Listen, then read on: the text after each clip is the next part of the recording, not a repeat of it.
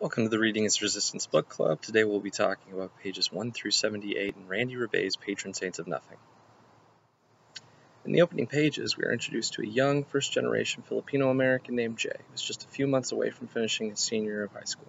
Jay's life is turned upside down when he learns about the death of his cousin, Jun, who Jay was very close to during his youth.